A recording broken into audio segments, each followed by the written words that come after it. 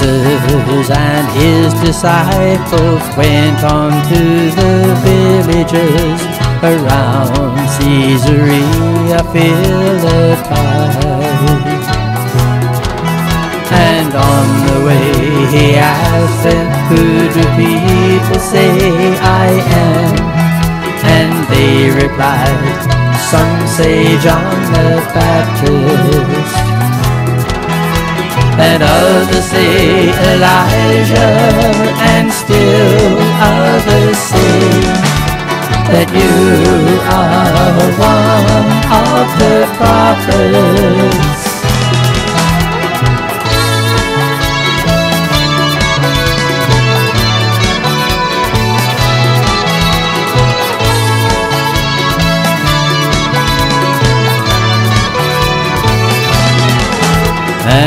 And then Jesus said, But what about you?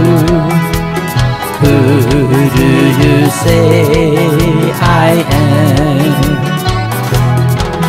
And Peter answered, saying, You are the Christ.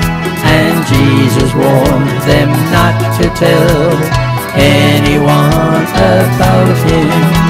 Yes, on the way he asked them, Who do people say I am? And they replied, Some say John the Baptist, and others say Elijah, and still others say that you are one of the prophets.